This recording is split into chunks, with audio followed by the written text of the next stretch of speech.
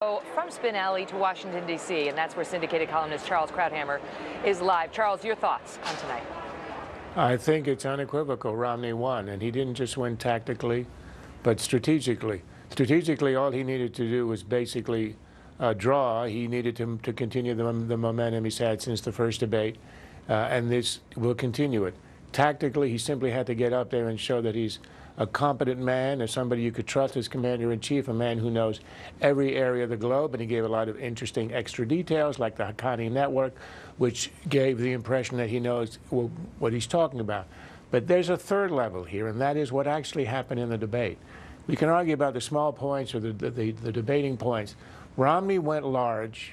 Obama went very, very small, shockingly small.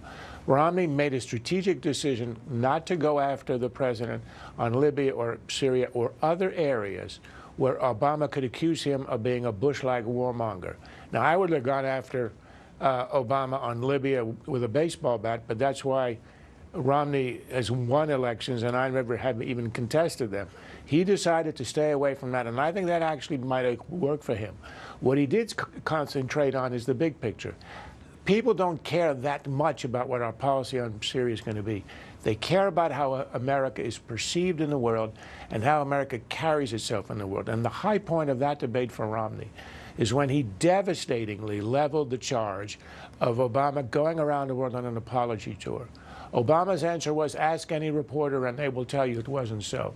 It's about a weakest answer and you can get. And Romney's response was to say, to quote Obama saying that we dictate to other nations, and Romney said, we do not dictate to other nations, we liberate them. And Obama was utterly speechless. Obama, so that's the large picture, America strong, America respected. What Obama did is he kept interrupting, interjecting, and his responses were almost all very small, petty attacks. The lowest was when he's talking about sanctions in Iran. When I was working on sanctions, you were investing in a company in China. I mean, that's the, the kind of attack you expect from a, a guy who's running for city council for the first time.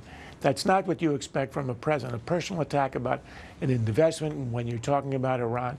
I thought Romney had the day. He looked presidential. The president did not. And that's the impression I think that's going to be left. Charles Mitt Romney sounded a bit more dovish, uh, less bellicose than some perhaps on the right wanted to hear. How will that play? Well, I think those on the right like me who would have been loved to have been bellicose and loved the near fisticuffs in the last uh, debate will understand exactly why Romney did it. He stayed away from the pitfalls. He did not uh, allow himself to be painted as a warmonger. This is what Reagan understood in 1980. He did it extremely well. So Romney did, and I think this could help him to win the election. Charles Krauthammer, thank you.